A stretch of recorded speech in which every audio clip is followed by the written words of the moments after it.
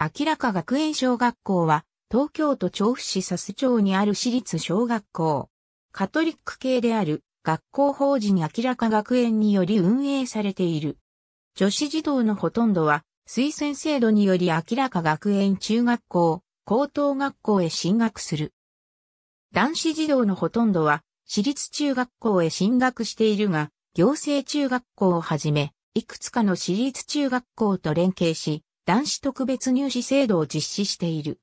男子マリア会から現行地である、東京都調布市佐須町の1万3000坪の土地を譲り受け、1949年、カトリック汚れなきマリア修道会が設立される。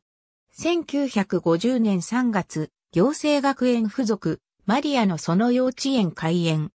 1955年に公明が明らかに決まり、1957年4月、行政学園附属明らか小学校が開校した。1961年1月、学校法人明らか学園が学校法人行政学園より分離して独立。1963年4月には明らか学園中学校、高等学校が開校している。